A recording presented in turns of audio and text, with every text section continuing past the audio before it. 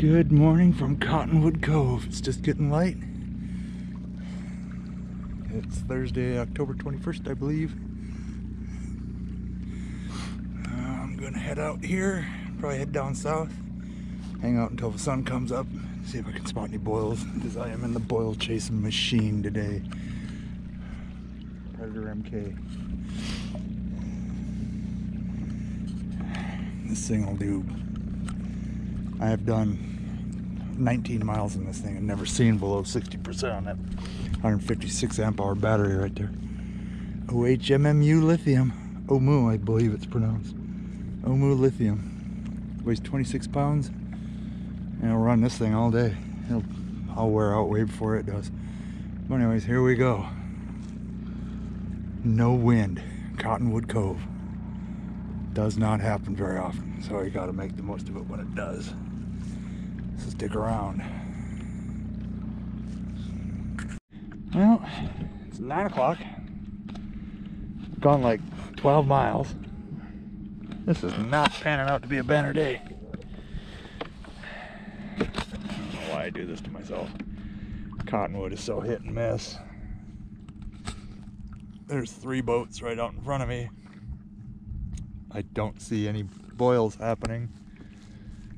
But, uh, and I don't see anything over here. I've seen a couple bait balls. I had one good bump uh, about five miles that way. But I don't know, they seem to know when you have your tackle box laying in your lap, and I lost them pretty quickly. So I don't know. I don't know. This might be a. This is more than likely going to be the last trip to Cottonwood this year. But uh, this is not looking good. I have caught them down here in November, but I'd much rather find other things to do than drive 54 miles for a really bad chance at catching a fish. I apparently have missed the boils down here. So, I don't know. I might I might find some, I might not. We're not done. We're heading south. Tony's he might already be over there by Pot Cove, which I believe is south of Waterwheel Cove, which is like right past this point right here that you probably can't see. So he went over to the Arizona side, went down to the end of Cottonwood Road, and launched. But the wind's starting to kick up.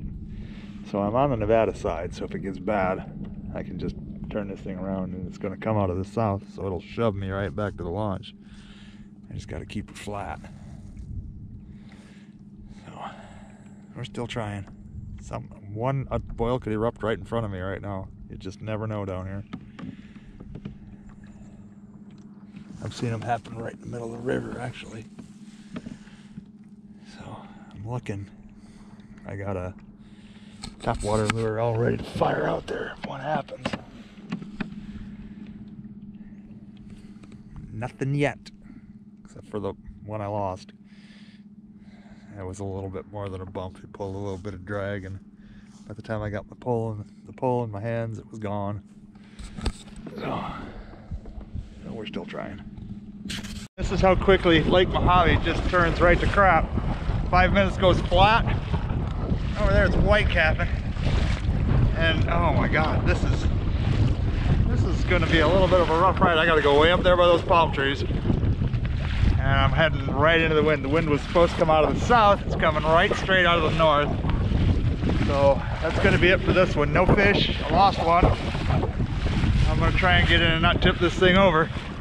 No guarantees. Because it's getting worse quickly. So, you know, like and subscribe if you would. I appreciate it. I'm gonna try and get home and not lose all my fishing gear here. So, uh, I don't know when I'm gonna be back on the water. I might go tomorrow morning to Boulder just to, because I know there's fish there. But uh, I'm not gonna be coming here again anytime soon. So yeah, anyways, Like and subscribe, like I said. There'll always be more. Not more here for a while. But thanks for watching, and I'll see you next time. All right, everybody, everybody's racing back to the lodge. I'm almost there, just around this corner. I gotta make a very kind of a hairpin turn. Yet. Uh, I'd like to thank Old Town for making it to see where the craft. Not like I'm, you know, figured out, oh, I can do white cap because, no, this is not, uh-oh. This is not good fishing weather right here. This is crazy. Uh, wow, and I even thought it might do this, I would not be here. But I am like, I got her to the pin, 3.7 miles an hour into the wind and waves.